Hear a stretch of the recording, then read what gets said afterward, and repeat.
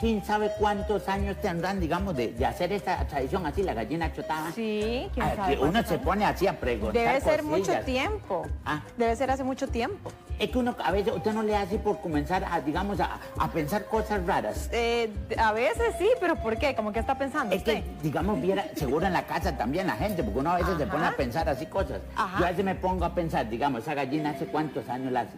Y digamos, usted nunca se ha preguntado, digamos, unos mil años atrás, digamos, ¿cómo seríamos nosotros los ticos? Ah, bueno, ¿Ah? sí. Bueno, le voy a ser muy franca. Yo tal vez hace mil años no me lo había preguntado. Es decir, no me había preguntado hace hace, eh, hace un momento cómo eran los ticos.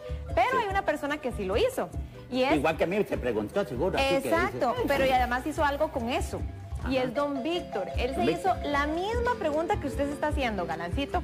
Se hizo la misma pregunta, pero terminó dándole identidad a un guanacasteco milenario. ¿Qué le parece? Milenario. Milenario. O sea, como en mil años. Como, lo que estoy pensando como, Bien, como de mil años. Yo. Y lo vamos a ver. Sí, vamos a ver. Vamos a ver, vamos a ver. Ahora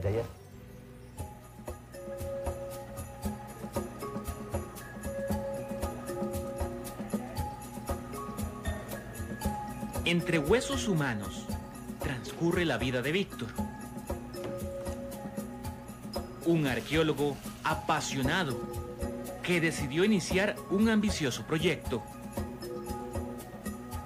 realizar la reconstrucción facial de un guanacasteco de mil años de antigüedad. Me apasionaba muchísimo el poder ver este cuál era el perfil fenotípico, o sea, cómo se veían esos individuos. Siempre teníamos como eh, indicios, pero eran más este, propuestas artísticas. Entonces, eh, lo que me apasionaba era eso, como ver qué, podía obtener de los huesos para ver cómo esos individuos eh, se veían.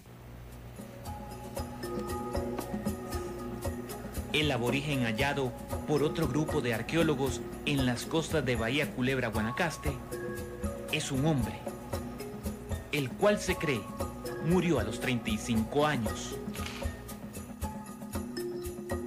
Como el sitio es costero, prácticamente todas eh, las excavaciones están en esta zona. En la operación 31 se encontraba eh, este sujeto.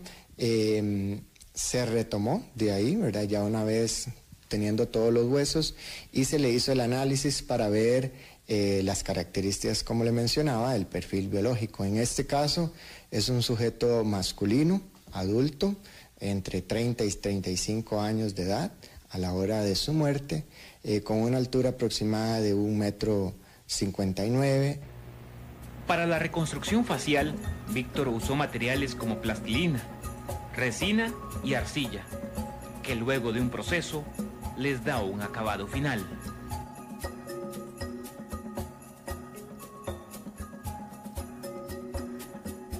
Lo que se hace es una réplica del individuo eh, original. Esta réplica se hace por modelado escultórico y sobre esta réplica comenzamos a desarrollar el proceso.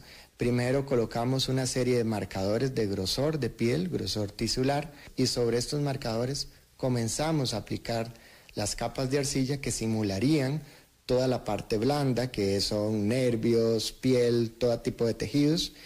Eso rellenamos la, réplica, Y entonces obtenemos básicamente los rasgos que pudo tener este sujeto en vida.